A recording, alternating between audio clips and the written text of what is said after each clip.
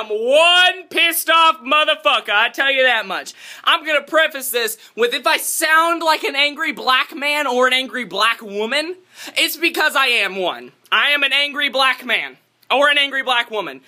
George Zimmerman got off with murder! He killed a young child, a young black man, but that's okay.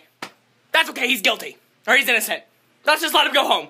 Are you? Ooh.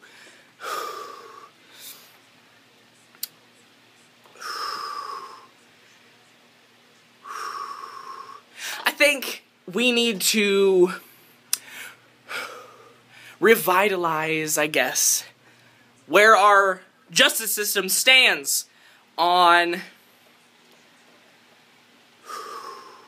self-defense because we can just kill anybody and say, oh, he attacked me, as long as I killed him, there's not another witness, then I can do, I can just say and do whatever I want. That is the precedent of this case. That is what this is saying to people. As long as you kill someone and they are dead and cannot thereby testify that, hey, I didn't attack the motherfucker, you can get off with it. Because it was self-defense. That's some bullshit! I'm genuinely pissed. I thought this was a open and shut trial. He killed someone. He gets something. He's not guilty. He killed him, but it was all in self-defense. Let's go home now. It's been three weeks. We haven't seen our family. I'm going to go home now. Fuck that! There is a young, dead black man. Happens all over the country all the time. I know. I get that, Al Sharpton.